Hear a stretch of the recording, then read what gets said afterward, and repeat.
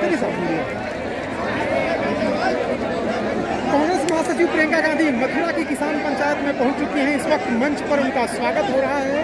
और जो गेहूँ की फ़सल है,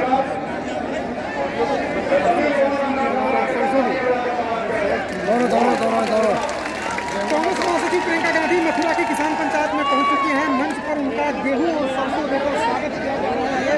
मथुरा में किसान पंचायत लगाने का मकसद प्रियंका गांधी का पूरे पश्चिमी उत्तर प्रदेश के साथ ही साथ ब्रजभूमि में भी जो जात हैं खासतौर से, जो किसान हैं, जो तीन कृषि कानूनों की मुखालफत कर रहे हैं, आंदोलन कर रहे हैं, उनका समर्थन हासिल करना है।